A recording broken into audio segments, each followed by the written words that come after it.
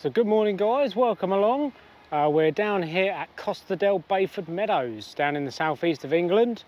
Uh, down at quite a tight little twisty kart track on the Friday afternoon of uh, the seventh round of the Bayford Meadows Karting Championship. So uh, if you want any more information about that, I'll pop it downstairs in the description, so check that out. All the results, as always, are on Alpha Live. Um, so we're down here on the Friday, we're down here with ASM Racing and we've got a little practice session or a few little practice sessions out in Roxy the Rotax Max.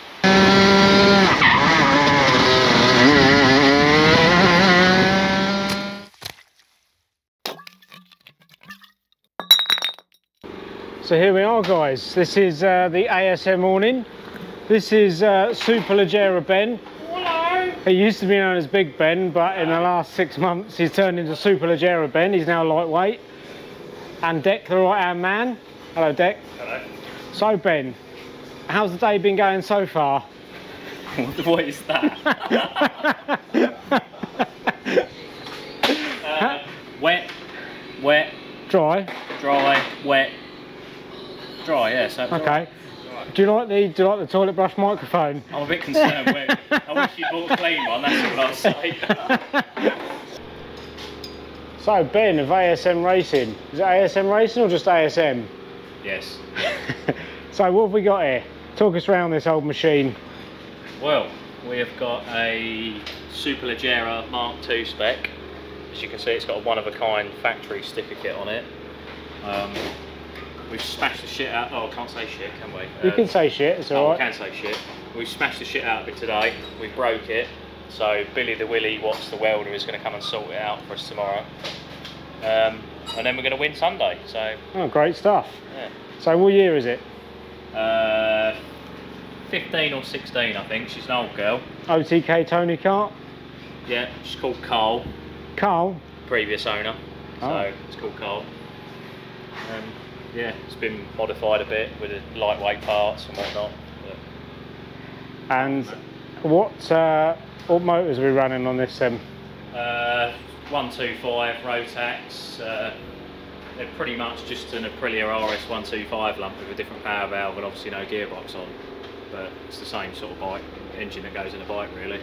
And they're all sealed yeah. by the engine builders? Yeah, so all sealed. Got to have a sealed engine builder, Jagsy and Paul for them. And these cream ones are the super fast ones, are they? Uh, well, it's the one that's fast in my head anyway, so...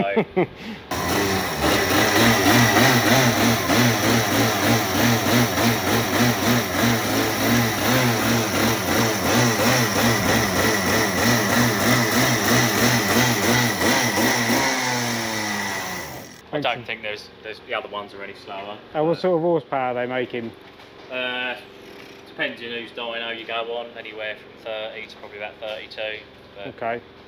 And yeah. the weight classes for the karts are 162 kilos for lightweight and 177 for the fatties. Yeah, Super oh. Fat Max is 200 plus. We've come down from that, so we're now in the 177s. We're not quite there yet, but we're getting there. And the awning's nice and quiet before the chaos at the weekend begins, yeah? yeah.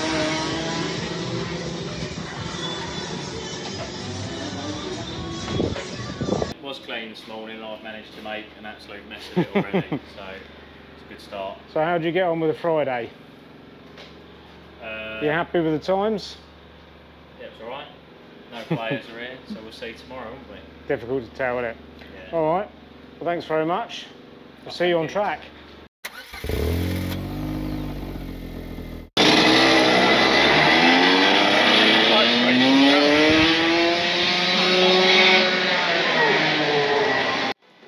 So here we are in the pit lane, ready to go. We're going to go out round a warm-up lap, get to the start line, then I will talk you around a lap of Bayford Meadows. To start now with the race and driver excuses, uh, this is not my car and it's got to be raced on Sunday, so we won't be pushing it at 10 tenths. Uh, the seat's too big, so I'm rattling around in there, and I've not been in an owner car for about two years, and I've not been in a Rotax for about four years. So I'm expecting to be super rusty, but we'll give it a try and see what sort of lap times we can get down to. Cold tyres, so a couple of laps at the start, we'll be just trying to generate some heat into the tyres, warm them through.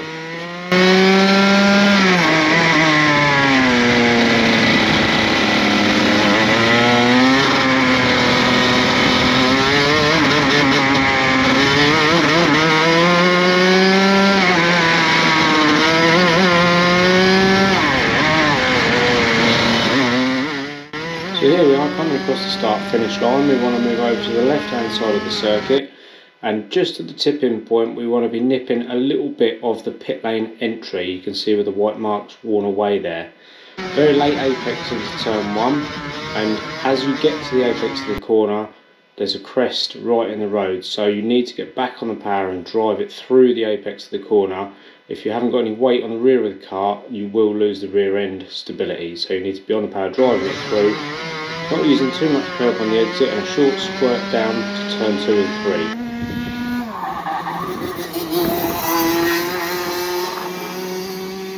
Now tricky corners on two and three. As you're turning in, you want to kind of aim for the, the exit rumble strip curb and try and brake in a straight line so that you're not unloading the rear of the car whilst you're heavy on the brakes. And once you start to come off the brakes you can turn it in and almost take it as one big sweeping corner. And then fire it out across the rumble strip aiming towards the grass on the exit and try not to run into it.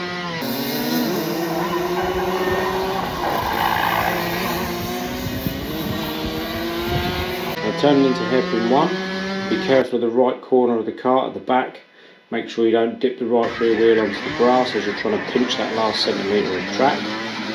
Nice smooth run round, grabbing the inside curb to hook the front of the car around the corner. Try not to run too wide on the exit and use the rumble strip and stick to the right hand side or the middle of the track for hairpin number 2. No point going all the way across the circuit, we're just wasting time moving over there. Hold a tight line all the way around hairpin 2 and sacrifice hairpin 2 to get a good drive out of this left-hander onto the back straight. One of the most important corners on the circuit before the long straight. You need to make sure you're on the throttle as early as possible and not running out too wide across the rumble strips. Into this long left-hand corner. Now, some people like to go out wide here and cut back. I think it's better to sit in the middle of the road. One, you can defend easier in a race situation, but two, you're not wasting time moving over to the right hand side of the track just to come back. So hook it in nicely to the apex and run it through. Now this right hand sweeper all the way around the mound is almost two corners and it's a very tricky corner, very hard to be smooth on the power all the way through here and once you're on the throttle you don't want to be coming back off, you just want to be progressively winding it on all the way through. Run a little bit of curve on the exit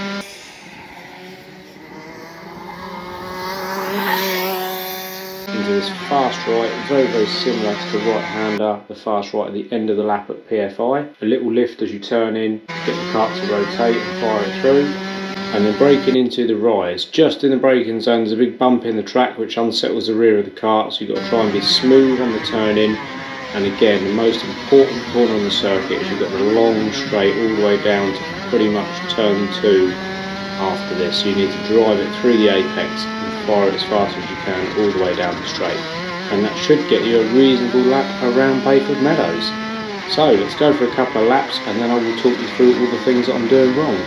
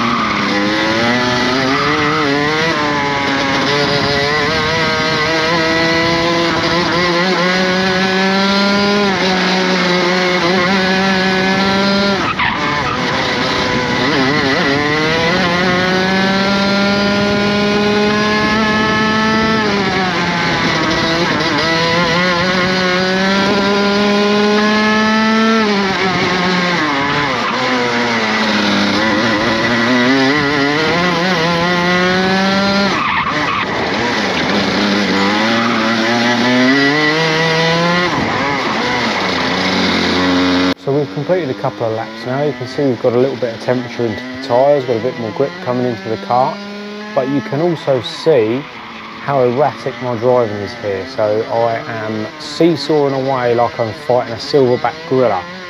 So this is just really from lack of seat time in the kart. This is the first session out. And what's happening here is although the lines are okay and the times are coming down, where I've not been in the seat, I've lost that finesse behind the wheel. So the controls, the inputs to the controls, the brake accelerator, the steering, it's all too erratic and it's all too harsh. It should be nice and smooth and flowing and have a certain finesse about it. That really is just, like I say, down to seat time. So you can see because of that, it just looks like I'm skidding around all over the place, losing time left, right and centre. But that's to be expected, to be honest, the first time back out on track.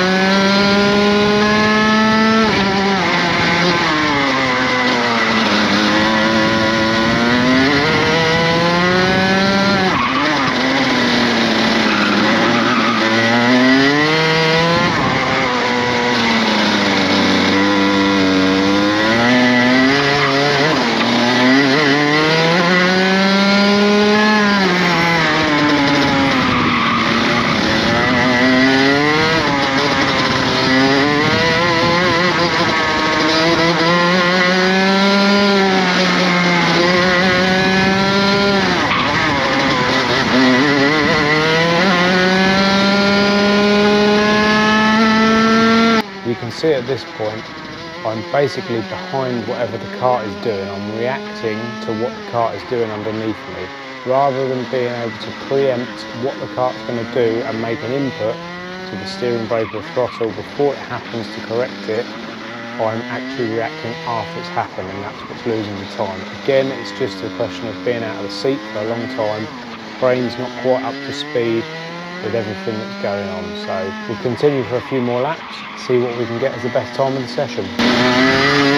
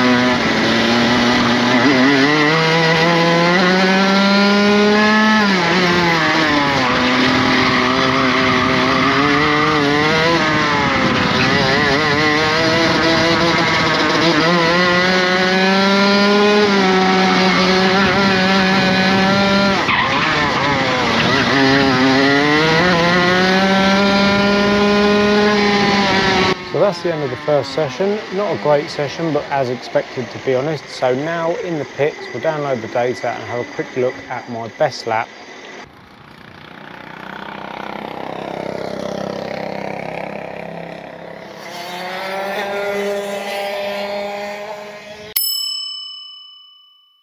So now we can download the data and compare my best lap against the best lap of the day so far. Uh, looking at this data, we can quite clearly see where I'm being too aggressive on the brakes going into the hairpin and the final corner. So they're the main key points to work on over the next couple of sessions, with the data being an invaluable tool to help you to get faster.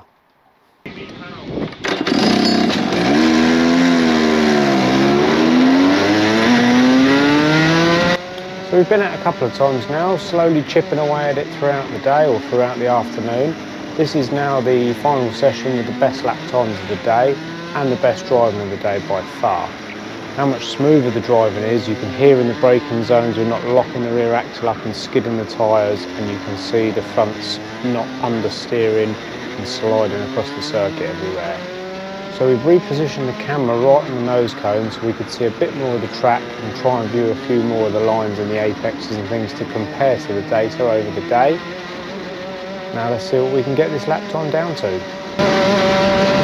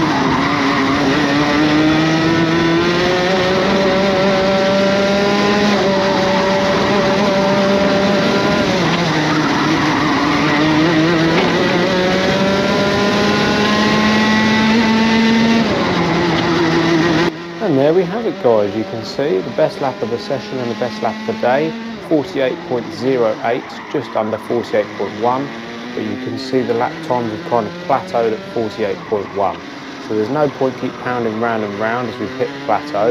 It's better to come back in, go through the video footage, go through the data and see where we can improve again. But unfortunately, we've run out of sessions in time today. A little bit gutted to not quite crack the 47s, but I know of another session or two we could have got in there. So let's bring you folks back in the pits and go for a little debrief of the day.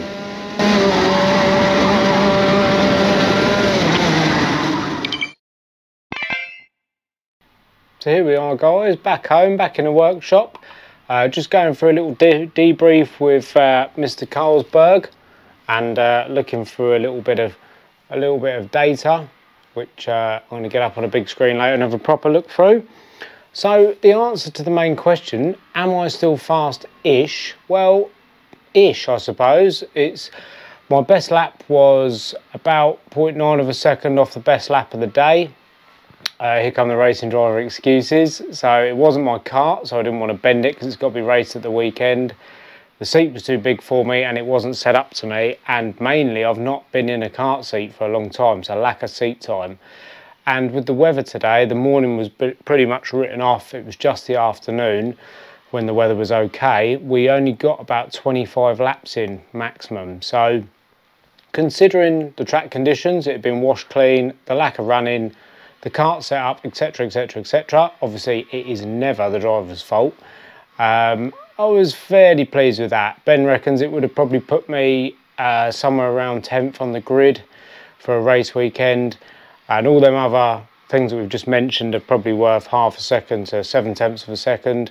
And then the last bit would be chasing that carrot in front of you in a race situation. So I still feel like I could be up the front and up the sharp end of the grid in an actual race weekend. So that's good news. Um, big, big shout out to Ben from ASM. Thank you very much, mate, for sorting me out a few sessions today in the kart. Thoroughly loved it, thoroughly enjoyed it. It was a really, really good day. Best of luck for the weekend. Hope you can win it on Sunday. And we'll try and get back in November for the final round eight of the championship and cover it for the weekend then. So with the power of video editing, and it now being nearly a week later since I've actually put this video together I can tell you that Ben actually had a clean sweep over the weekend so fastest in quali on pole heat 1 heat 2 first place final first place so a massive massive congratulations to Ben great driving throughout the day good work on the spanners as well to get the kart working right um, but it also means that actually my time is not too disappointing as I was comparing myself against the person who won on the Sunday. So that does make me feel a little bit better. Um, my personal highlight of the day was actually Ben's reaction to the toilet mic microphone. Thoroughly enjoyed that. So well, well worth the trip over there uh, just to see the reaction from Ben for that and a little bit of toilet humour for you guys. We'll see if we can get that out and about somewhere else in the future. So it was a successful day, really, all round. Uh, not the fastest, not the slowest, somewhere in the middle to start with, considering the lack of seat time and the lack of seat time in that kind of kart. Um, need to change my driving style completely for that type of kart racing. Uh, really pleased with it, really. Just nice to get back out there. So, thanks very much for watching. Look after yourself, guys. Take care, and cheers. Ta-ta.